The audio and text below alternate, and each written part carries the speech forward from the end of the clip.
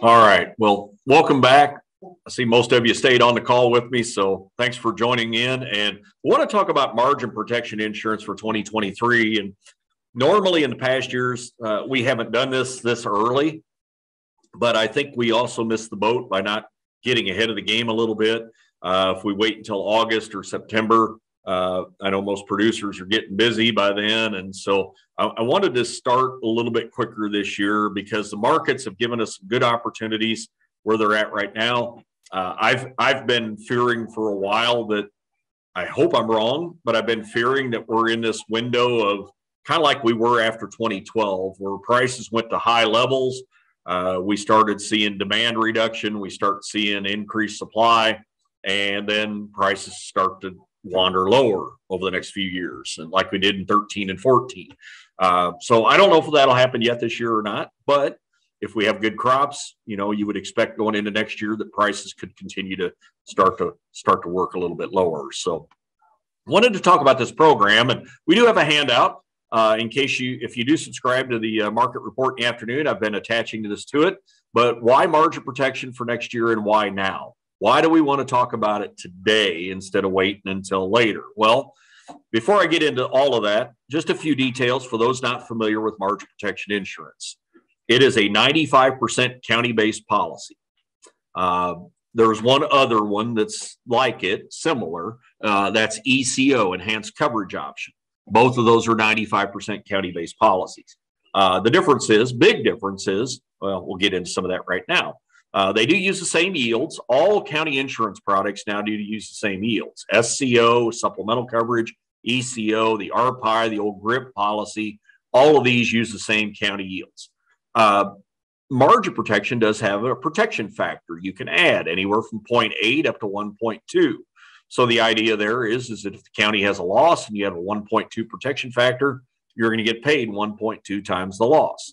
So if you want to take into account that your yields may be a little different than the county, maybe using the protection factor helps get you more dollars. Uh, the base prices get set August 15 to set 14. So we're about a month away from starting to do that. Sales closing date is September 30th. And this policy sets its harvest input prices in April for the inputs. Uh, the inputs we're talking about, the variable inputs, are urea, DAP, potash, diesel fuel, and interest rates. Those beginning prices are all set here in the fall, but the harvest prices for those are set in April, except for interest rates. That and the harvest grain price are going to be set in October, same as all the other revenue prices.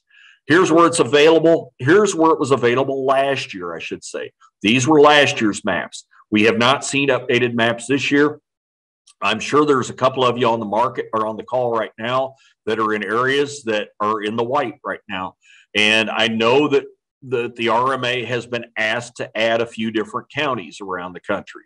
So if you were thinking about that and you haven't heard, now would be the time to contact somebody ASAP. If you think you want to get a county added, now would be the time to do it before we see the final release come out here, probably in, in late August uh, for this coming year.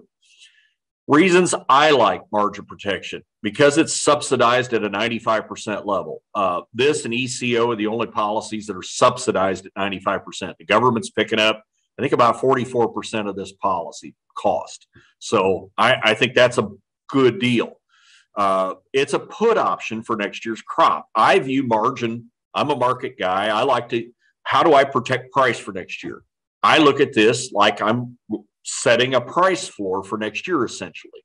So, and I could do it here in August, August, September timeframe. If I'm not doing anything else for next year, if I'm not going to market the crop for next year, this is one way I can lock something in versus sitting and doing nothing and hoping that come February that the price is still good. Uh, reason I want to do it, this is a, a and Watts and Associates we work with very closely uh, on some private products. But Watts put, and Watts was the company that built margin protection insurance. And this is a price chart that they put together showing the seasonality of corn price over 25 years. And this right here from on the right hand side is the actual growing season from April to August or April to September. This is the growing season. oh, excuse me, I'm sorry, the middle part of this. April to October is the physical growing season for the crop. They extend this a, a year early and a year later. A year early for the people that want to forward sell or use a product like margin protection. A year later for those of you that put it all in the bin and wait. And so you can kind of see when when the highs and lows are typically made. And the highs for over the last 25 years have been made a year ahead of time for the crop, a year and a half ahead of harvest. June or May, June of now for 23 is typically when the high would have been made. And so we kind of saw that here, you know, two, three, four weeks ago. But we're still into this August, September window right here where typically prices are still pretty good relative to where they'll be next fall in fall of 23. And so this policy uses the average August, September price compared to the October price next harvest. So what? 13, 14 months away uh, is what you're comparing it to. Uh, expenses have become a big part of this policy. In the in up until this past year, we really had not seen a big change in the variable input costs. This year, threw all that out the window. Uh, we saw some big moves in these input prices. Now, for next year, uh, you know, we well, this is uh, anhydrous price, I guess. So this is 22. This is still holding pretty strong. I'll show you next year's here in a minute. But this past year, urea, uh, DAP, uh, diesel, everything went way up after we set the prices back in the fall last year. We set prices in September through the winter and into early spring. Those prices went way up. That helped the policy, or anybody that had this policy got help uh, from the policy to offset those input prices going up. We'll show that here in a minute. Um, you get to add cheap revenue protection in February. So because you're you already have a 95% policy, you've got X amount of dollars of coverage. And the government will basically give you an incentive to, to buy an underlying revenue policy on your farm. So if you decide you want to buy 80% policy on the farm, that'll take 80% of those dollars off of your MP policy. So the government's going to give you a credit for doing that they're going to say, okay, if you're going to buy this, then we're going to give you a credit against the MP. Because let's say for margin protection, you had $1,000 of coverage. If I'm going to replace that with $800 of revenue on my farm, I don't need that 800 on the margin. I get credit. So my margin then is only $200. Your farm is $800. So they're giving you credit to do it. And oftentimes we've seen that that credit is enough to pay for most of, if not the entire cost of that individual policy. So you can basically convert county level protection to individual protection for little or no cost. So that's a that's a positive. You get the best of both worlds. You get your individual coverage up to a certain level, just in case. You get the county coverage up to 95%.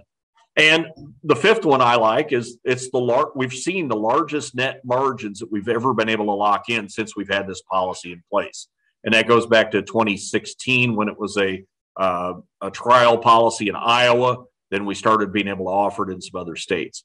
But let's take a quick look back to 2021. We had the final county yield numbers come out here in June. And so we can go back and look at what some of those payments would look like. And in 21, this is Sangamon County, Illinois where the county yield went from expected at 219.7 went down to 215.2 in the, uh, at the end of the year. Not a big drop but because input costs in 21 went from 318 to 366 they ended up getting a payment of $15.72 so it basically was triggered by the cost by the input costs going up. Really didn't have you know that yield drop was not 5% so the, yeah that helped uh, go into the math but you wouldn't have got a payment just based on yield drop. It was also because of the drop in the input or the rise in input costs. Um, and I can look around different areas uh, in the Midwest. Now, this is not identical to margin protection, but this is uh, from Farm Doc showing the difference between what the expected county yields were back in 21 versus what they ended up being. And so the red and pink areas were the were the counties that would have triggered the biggest county losses or potential payments for margin protection, for ECO, GRIP, all of those uh, different county products. And you can see in you know a couple counties in Northwest, Southeast Iowa, Northwest Illinois, got a few Missouri counties, and, but a lot up in the upper Midwest that year would have triggered some pretty good sized payments. Uh, and in fact, I ran this for Edmunds County, uh, South Dakota on soybeans. Edmunds County triggered a payment, $245 an acre on beans. They had an expected county yield at 38 bushels. Final county yield was 20. And so that was drought related. Input costs went up a little bit, but the policy paid $245. Uh, if a producer in Edmunds County, a lot of guys there are buying 75% RP coverage, 75% RP policy would have barely started to trigger a loss versus this policy paying 245 bucks an acre. Um, and you can see the counties where beans saw the biggest drops versus expected county yields. Again, the upper Midwest last year was really the area. Uh, spring wheat, this is in Cavalier County, North Dakota, and that county went from 64 bushel expected to 43. Input costs went up from 120 to 141. Payment would have been $222 an acre. So even with the wheat price going up, uh, because the input costs went up as well and the yield drop, we saw some significant payments. So uh, who knows in a given year? I, I didn't show all of the corn ones, but there were some corn counties that saw some two, three hundred dollar an acre payments as well. So you know, a lot of it depends on yield, but a lot of it depends on prices. And we did see the impact of the inputs that year. So what's happening in 2022? We're right in the you know middle of the growing season. These numbers were all established last fall. So you can see the bottom line here were the urea, the DAP, and the diesel prices that were established back in August, September of last year for this year's crop. The top green line were the averages in April. And you can see how these numbers went up substantially. Now, we saw this big rally in March. Prices started to come back down in April a little bit. But urea price, you know, we had gone from what, $450 to over $700. Uh, DAP had gone from 600 to 900. Diesel had gone from $2 to three, almost $4 a, a, a gallon. So the impact of that right now, and again, we're still in the middle of the growing season, but I ran this for Warren County, Illinois. It's up in the northwest part of the state. And the impact of those input costs going up, you can see here in the gray boxes, we've gone from four, $414 expected costs to $532. So your, your variable inputs, just those really those three so far urea, DAP, diesel, interest rates are also going up and won't be final until fall. But just based on inputs alone, and I'm using a yield unchanged, 222.6, just based on inputs alone, Warren County be getting back a payment of $57.80. And I would assume most counties around the, the Midwest where this is available, especially, would be looking at a similar indemnity payment if the county yield was unchanged. Of course, if your county yield goes up, then your indemnity goes down. If your county yield goes down versus expected, your indemnity goes higher. So we've got a lot of moving parts still between now and the end of the year. Uh, the corn price, the harvest price is going to matter as well. So we still have quite a few moving parts. But I really just wanted to show what the impact of the input prices going urea from 452 to 745, DAP, DAP going up $300, diesel interest, what that impact is on the policy as of right now. So we'll continue to monitor this as we go forward. So looking ahead to 2023, well, the questions I've got for next year, uh, quite a few really. I mean, will needed inputs be available? You know, that was a big subject this spring, and I think we all, you know, we kind of had a sigh of relief that we we did get things uh, as we needed them. But what's going to happen next year? Uh, and at what prices? That's the other topic. Um, will grain prices slide? Uh, we'll go back to inputs. I saw a story here the other day that uh, what the U.S. has been an exporter of nitrogen, I guess, here this summer. Uh, we had excess nitrogen at the Gulf and other places, so we've been selling it overseas. Will that come back to hurt us? I, I don't know, but uh, that that has been a story. So anyway, uh, will grain prices slip? Will interest rates keep climbing? Will land prices stay hot? What's going to happen to world acreage? Will it expand? I think we're seeing stories of Brazil continuing to expand acres. So, uh, you know, that's the big one. So, to try to answer these, margin protection insurance, I view margin as put options. So I, I'm I'm kind of calling them margin put options. And I realize, and we've all seen the impact of input costs and certainly bushels as well. But this early in the year, I'm really looking at utilizing this policy to help protect price. And so right now we're at 553 a bushel, December 23 corn. We're going to start setting the, the base prices a month from now. I don't know where we're going to be a month from now. Uh, granted, we're not at 660 like we were, you know, three, four weeks ago, but we're above 506. And if you look at the potential margin of, uh, available for next year, uh, we're still looking at some really good numbers, even at 553. And so, my the way I view margin protection, at least this early, is that it's like a put option. But two things are going to affect what the strike price is on my put option: the county yield, how the yield changes, will certainly impact it, and the variable input costs will impact it. We've seen both of those in the last two years have big impacts in certain parts of the country. So the way I look at at this at 553, and uh, again, I'm going back to Warren County, the example I just showed you a minute ago. At 553 corn at 222 bushels at 95%, that gives me $1,166 in revenue trigger minus my input costs. But $1,166, I think I can make a profit there. And if my input costs were to stay unchanged and my county yield stayed unchanged, then it would take a 5% drop in price to trigger a payment, which would be five and a quarter from 553. Would I like to have a price floor next year at five and a quarter? Could I live with that? I think I could. Could corn go into the fours next year? I think it could. So, you know, or do I want to sit and wait until February and see what happens with prices in February and buy my revenue insurance then? I think those are really your choices. Uh, or do I forward sell a bunch of corn? And I don't think any of us are going to run out the door and go sell a bunch of 553 corn today. So I, I, think this is the way I like to look at it today. But I also know that the input side of things, I, I think there's a good chance input prices could be higher next spring, like they were this year. Uh, county yields next year, who knows? We're way, way too far away from 23 to know what's going to happen on the yield side. But I like to look at it mainly from a price perspective at this early point. Similar to soybeans, uh, you know, if we started at 1242 today, I hope we're higher. But if I had a 65 bushel county yield at 95%, I've got a $767 revenue trigger minus my input costs. Uh, if we don't see a change in the inputs or the yield, then 95% of 1242 is 1180. Is that great? Well, not great, but could be worse. So, you know, there's a way you can protect that price. Spring wheat, guys. Uh, anybody spring wheat, uh, the upper Midwest, 919 right now on Minneapolis 23 September wheat at 65 bushels at 95% gives me a $567 wheat trigger, which is phenomenal looking at the history of this policy.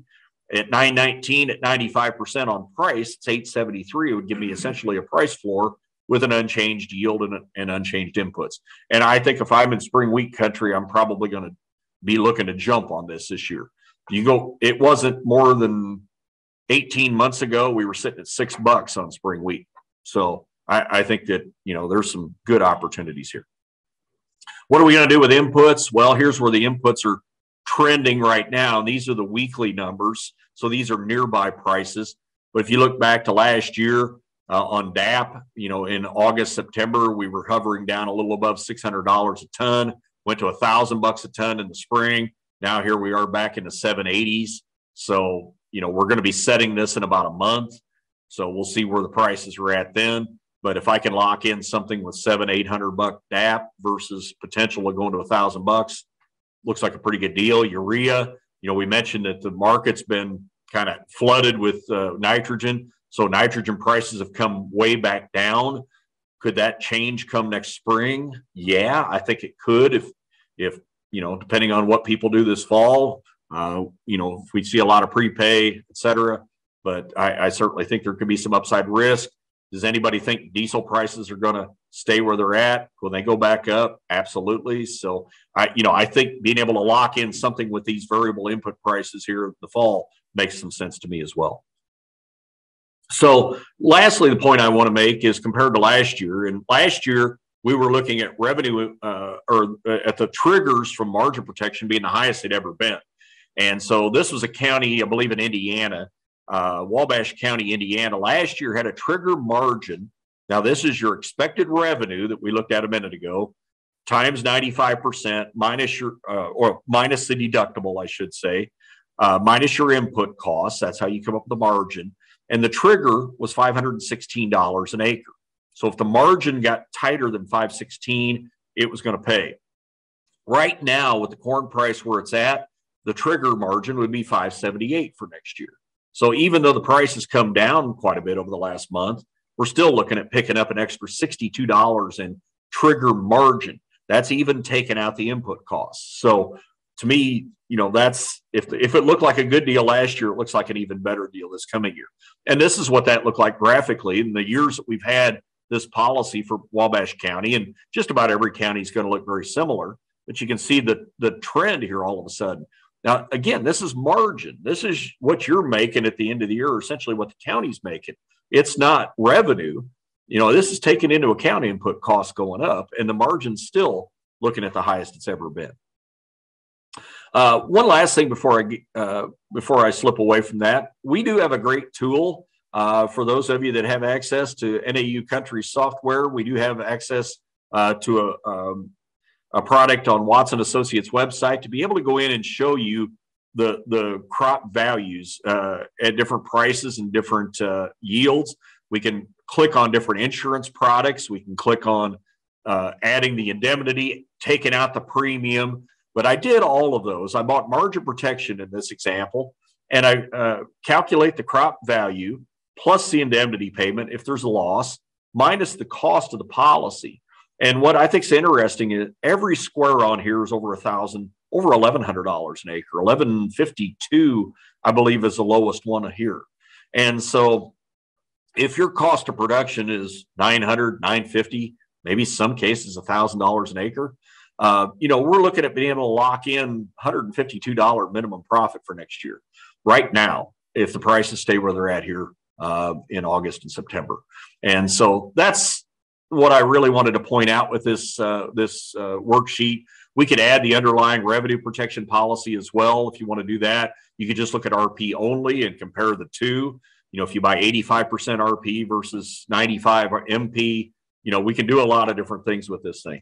But I, I think it's pretty, to me, it's pretty amazing that we've got an opportunity. We've got a policy that allows us to lock in a, you know, a, a net margin for next year this early in the game and if we end up raising 260 bushel corn next year at five dollars, then great.